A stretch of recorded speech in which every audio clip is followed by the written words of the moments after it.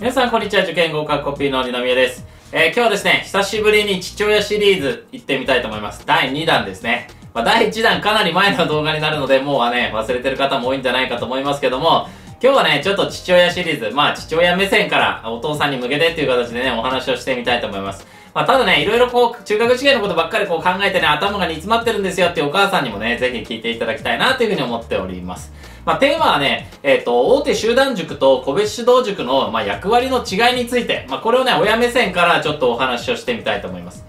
で、まあ、お父さんの中にはですね、まあ、しっかりサポートに入る方も当然いるとは思うんですけど、まあ、多くは、あの、基本的にはもう、奥さんと、えー子供に任せているんですという方がね、えー多い印象があります。なので、今日はね、ちょっと初級編っていう形になると思うんですけど、僕が考えるね、こう、大手集団塾と個別指導塾のその違いについてね、お話をしてみたいと思います。では早速ちょっと行ってみたいと思うんですが、まずね、中学受験っていうものについてね、ちょっと少しだけ最初にお話しとこうと思うんですけど、あの、基本的にね、今、今6年生がちょうど受験期に突入してますけども、まあ今ね、受験に突入してるこの6年生と、去年ね、受験を終えた、まあ子供たちが、基本的にはね、同じような勉強の範囲と量っていうのを学んだ上で、こう、受験に向かっていってるんですね。で、まあ内容っていうのはね、こう、9割9分同じになってると思います。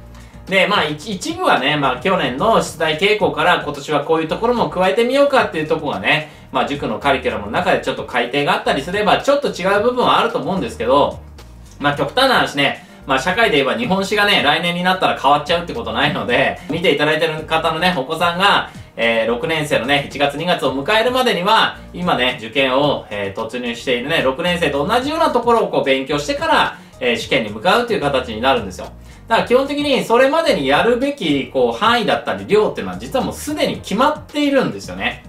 で、ただ、決まってはいるんですけど、この量だ、範囲だ、じゃあどれをね、こう選別してっていうことを親の方で全部やるっていうのは、かなり労力がかかる作業なので、まあ、ここはね、まず第一の、え選択肢としてね、まあ、大手集団塾、まあ、今回ちょっと大手大手集団塾に絞りますけども、大手集団塾に行くっていう選択肢を取るね、ご家庭が多くなります。で、このね、大手の塾に行くことで何がね、得られるのかっていうことを親目線でお話をしてみたいと思うんですけど、まずはね、教材ですよね。まあ、それまで、まあ、6年生の1月2月を迎えるまでに学んでおいた方がいい量だったり範囲っていうものをテキストっていう形で、えー、全てね、提供してもらうことができます。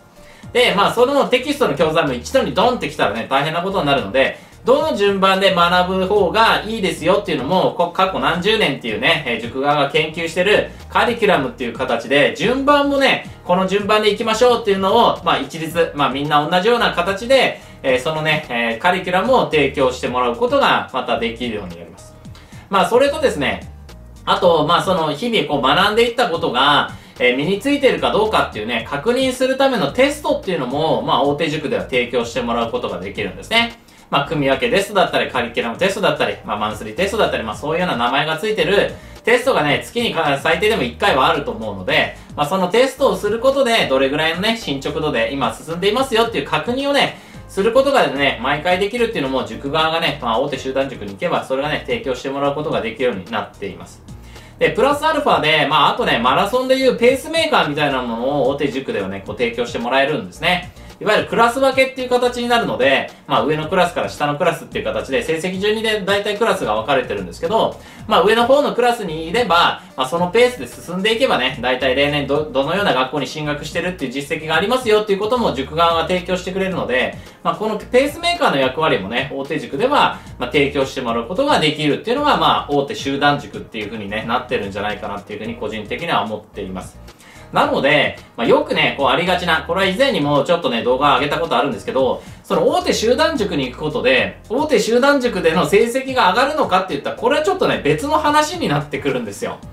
だから塾行ってのね、成績が上がんないんだよっていうね、あのーことを思うことあると思います。僕もね、そういう風に思ってた時あるんですけど、実はさっき挙げたものっていうのは、まあ見ていただいてる方のお子さんだけじゃなくてね、塾に通ってるご家庭全員がね、同じものを塾から提供してもらってるわけなので、まあ条件としてはイーブンなんですよね。だから何かアドバンテージを手にしてるわけではないので、まあその中でね、成績をさらに上げていこうっていうふうに考えるんであれば、やっぱり何かしらのプラスアルファをね、そこでこう加えてあげないといけないんですけど、まあ大手集団塾の場合にはね、まあその中では、ちょっとそこまではね、あの、面倒は見てもらえないっていうのがね、大半になっています。要は、まあ、塾の系列で別でね、あの、例えば質問教室だったりとか、まあ、そういったね、細かなことはあると思うんですけど、基本的には、あの、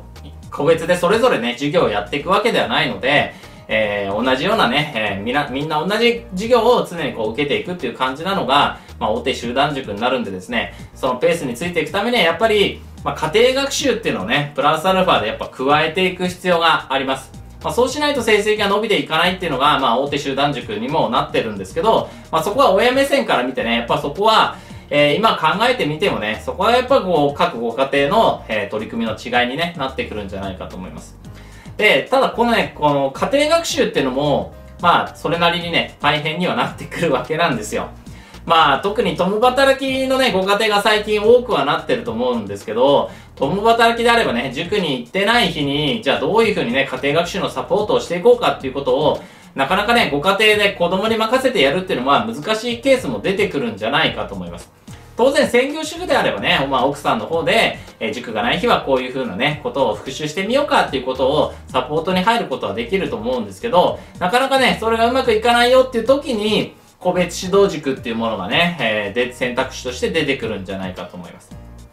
要は個別指導塾っていうのは、まあ、最近の個別指導塾ってこう、大手のね、塾に、えー、準じて、そのテキストに、えー、合わせてね、個別指導をしてくれるっていうところが、えー、結構多いです。例えばこうサピックスに行ってる子が、えー、比較的多く行っている個別指導塾というのもありますし、うちは日農家に強いですよっていうね、個別指導塾もあったりするっていうのも聞いています。で、コピー機のね、レンタルしていただいてるお客様でも個別指導塾行ってるっていうあのお客様いらっしゃるんですよ。で、お話をね、こう聞かせていただく時があったりすると、やっぱりそれでね、成績伸びてるっていうこともあるんですけど、まあその個別指導塾はじゃあね、親目線から見て何を求めるかっていうとですね、まあズバリ成績のアップですよね。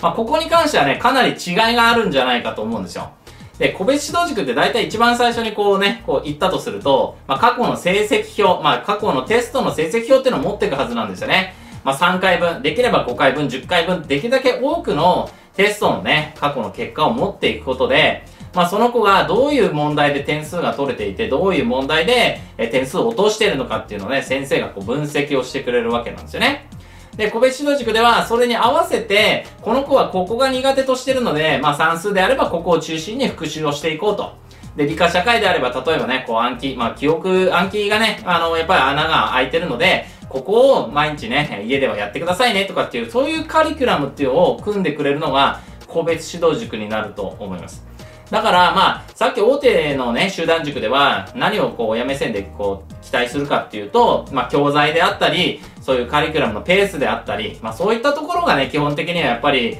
提供してもらえるところなのかなっていうふうに考えるのと比べると、個別指導塾にやっぱ求めるのは、親目線で見ればやっぱ成績アップなのかなっていうふうにね、感じます。ただまあ、大手集団塾をやめて、個別指導塾に行くってなると、かなりね、あの、レベルの高い個別指導塾じゃないと厳しいっていうのが最近の現状なのかなと思います。多くは塾に行きながら個別指導塾に行く。だから家でやる、まあ、家庭学習のところを個別指導塾にね、お任せする。まあ場合によっては家庭教師の先生にお任せするっていうケースもあるかもしれないんですけど、そこがね、この大手集団塾と個別指導塾の違いなんじゃないかなっていうふうにね、僕としては思っています。だからなかなかね、こう、お父さん目線で見て、まあ、塾がどう、どっちがいいとかね、なかなかこう、サポート入っていないと、まあ最近のね、中学受験も、えー、いろいろ複雑になってる部分があるんで、頭がごっちゃごっちゃにね、なっちゃうっていう方も、えー、いらっしゃるっていうね、印象を受けたりする時があるんですけど、まあ基本的にさっき言ったように、こう、住め分けが違うので、どっちがいいですかっていうと、まあどっちもね、あの役割が違うので、まあ、そのあたりはね、ご家庭でどこを求めているのかっていうところでね、まずは大手集団塾で、えー、教材だったり、そういうカリキュラムだったりっていうところを、あの、提供を受けて、で、必要であれば個別指導を選択していくっていうことがね、えー、いいのかなっていうふうに思います。であとね、もう一つ、ちょっとお客様からね、その個別指導の話聞いてる中でなんですけど、まあ、大手の、えっ、ー、と、集団塾に関しては、基本的にはね、家からできるだけ近いところを選択するっていうのが大半になっていると思います。ただ、個別指導塾に関しては、まあ、聞く限りはですね、まあ、最寄りの近いところを選択しているというよりも、多少離れてでも、ここがいいなっていうふうに思ってる場所に通われてる方が多いっていう印象がね、あります。まあ、それによって、えー、非常にね、成績が伸びてるっていうね、えー、ことがあるので、遠くても通ってるんですっていう方がね、結構いらっしゃるっていうことを考えると、まあ、個別指導に関しては、まあ、塾選びっていうのはね、結構お父さんお母さんの方で、しっかりその塾とね、あの、コンタクト、コミュニケーションを取り続けて、えー、ここがね、やっぱお任せできるところなのかなっていうところを選別していくっていうことがね、一つのポイントになってくるんじゃないかなっていうのも一つね、情報としてはお伝えしておこうかなっていうふうに思います。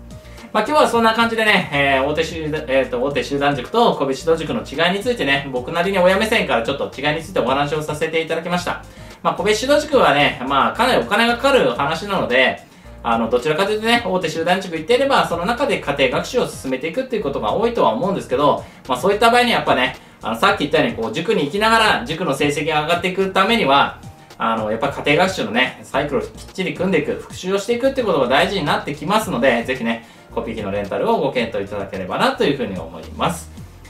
まあ、ということでね、えー、今日はそのお話させていただきました。これからもね、中学受験関連のお話していきたいなっていうふうに思いますので、ぜひね、チャンネル登録していただけると嬉しいです。それとね、動画の高評価もいただけると嬉しいです。また次回の動画でね、皆さんお会いしましょう。バイバイ